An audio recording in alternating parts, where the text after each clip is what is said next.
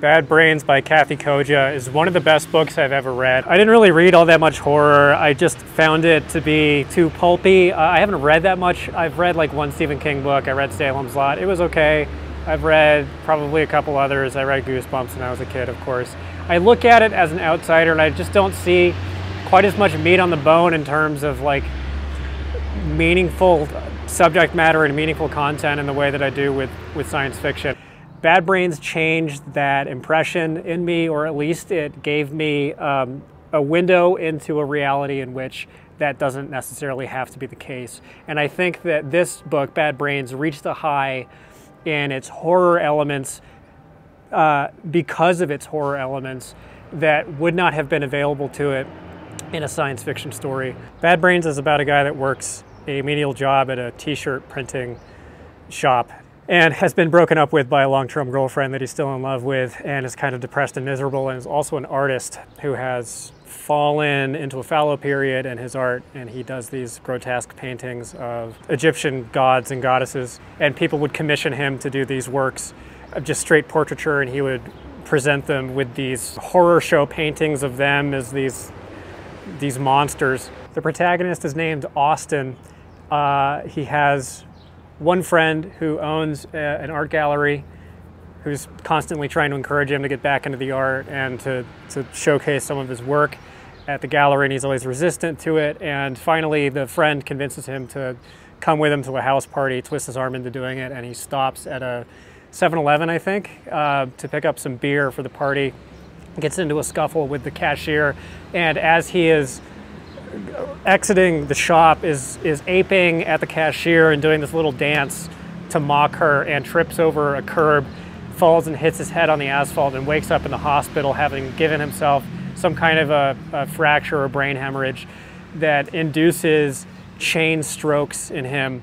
Um, or epileptic, not strokes, seizures rather. He has these intense, intense seizures that are excruciatingly painful, and one of the byproducts or one of the symptoms of the uh, seizures is he starts seeing this ethereal, silvery, liquid thing in shadows and in the peripheries of his vision.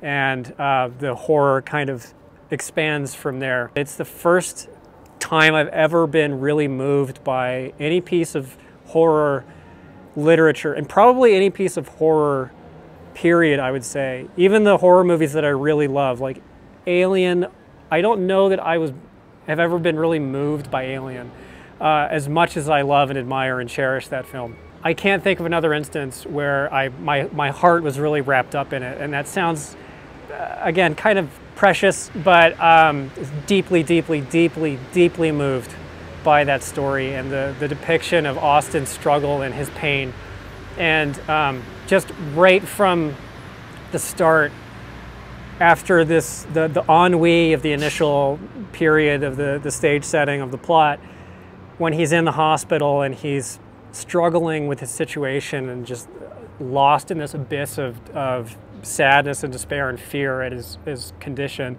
and the descriptions of, of his pain and his loneliness and his, his longing for uh, his ex girlfriend and any, any kind of solidarity and love is just heartbreaking. That clench never really releases for the entire story. It follows Austin after he's released from the hospital, trying to adjust to his new normal. The prose is spectacularly good in a unique way that again I don't think that I can really describe. It's just uh, absolutely masterful. It's just with a capital M, it's absolutely flawless.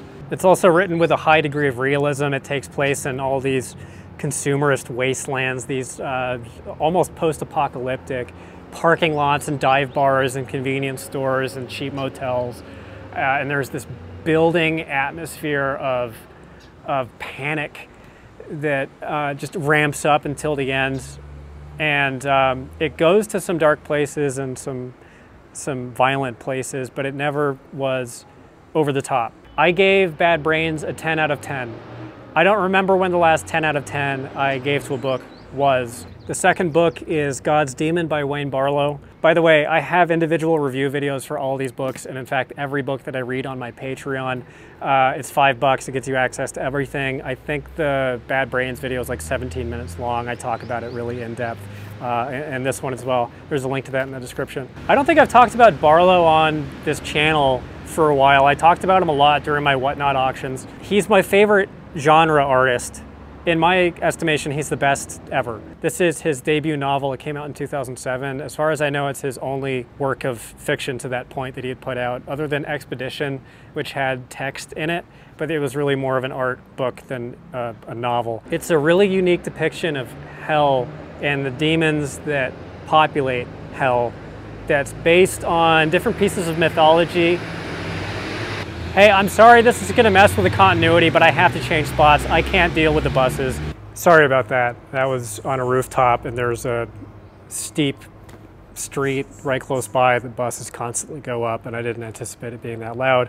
God's Demon is the story of a fallen angel named Sargatanas who lives in a, a, city in hell, one of many cities that are lorded over by different demons major, the Sephirim, Seraphim, after the fall, who, when they fell, landed in disparate, far flung parts of hell, which is kind of uh, wilderness that already has things living in it. There are abyssal creatures, big animals, and there's a race of what are called salamandrine men, who are basically the Fremen from Dune, who are uh, the indigenous uh, bipedal humanoid life form who live in hell and, and know how to survive in hell outside of the cities. And the cities are constantly at war with each other over turf and power. Uh, Lucifer has disappeared. Nobody knows where he is or why he disappeared. And he has left Beelzebub in his wake to govern as the prince regent and uh, Beelzebub and Sargatanas come to loggerheads. When I found this book, I was nervous to read it because I worried that it would be mediocre. Um, the writing itself is kind of a little bit mediocre, unfortunately, but the world building is so rich and so good that I think it makes up for it. I'll talk about the negatives first. The characterization is, is pretty stock. It's almost like pro wrestling characters. There are heels and faces, and there's, there's a little bit of moral ambiguity in certain spots that's interesting, but for the most part, it's good guys versus bad guys.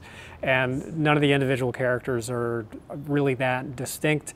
They kind of are these archetypes of the hero and the lover and the villain, etc. The dialogue also I found a little wooden. The plot also lags in the second half. With all that out of the way, the world building is superb. It's my favorite rendition of Hell that I've ever seen or read anywhere. It's really interesting. It feels more like a science fiction world than like a fantasy world or like something out of the Bible or something out of Milton, having not read Milton.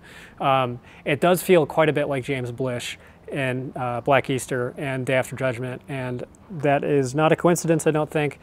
Barlowe painted the cover art that was used for both of those books, and he wrote God's Demon with a lot of uh, that same Blishian eye for historical accuracy. Took a lot of the names and a lot of the pieces of the lore from pieces of occult writing. The creatures in it are great, the demons are great, the physical descriptions of the world and the lamentations and sufferings of the, the people who are banished there are pretty hair-raising in parts. There, there's a lot of gruesome stuff in the book. I, I definitely would qualify it as horror maybe the second, the second tier, fantasy first and then horror. I would say if you like fantasy or you like the subject matter, I would give God's Demon a shot. I gave it a 7 out of 10. I will also say, if you're a big Dune fan, I think God's Demon has a lot in common. And then The Chrysalids by John Wyndham. The Chrysalids is his most famous, his most celebrated, well, not his most famous, his most famous is Day of the Triffids, but Chrysalids is held forth as kind of his crowning literary achievement. I don't know that I really agree, just based on the works that I have read. Uh, I would put this about on par with Kraken Wakes, and I think Midwich Cuckoos is the superior novel uh, which was published right after this one. And these are, I think, in concert with one another. Chrysalids takes place in a Canada in a relatively far future post-apocalyptic world where a big chunk of the uh, terrain has been turned into wasteland uh, after a big nuclear war. And the novel follows a kid named David who lives in this religious fundamentalist community who are kind of um, like Amish almost, agrarian, relatively low technology drive around in wagons, horse-drawn wagons. And because of the nuclear fallout, there are all kinds of genetic mutations that happen both in people and in uh, the, the crops that they grow and in the flora and fauna in the wilderness. The religious interpretation of the mutations is to see them as ungodly and worthy of destruction or exile. And David grows up in this, this claustrophobically orthodox situation and comes to find that he has a remarkable ability, and I won't say more. I just felt that it was a little bit too close to YA for my taste. My other gut level response that turned me off just a little bit is I am at this point tired of this same old routine with the thematics of how religion is treated in science fiction books, this antagonism towards religion, or portraying it as uh, the terrain of murderers and psychopaths, this version of it that's just the most hard-edged, extreme kind of fanaticism. I just, I, I find it boring. Of course, like, these people are real, these people exist, and these are based on real events.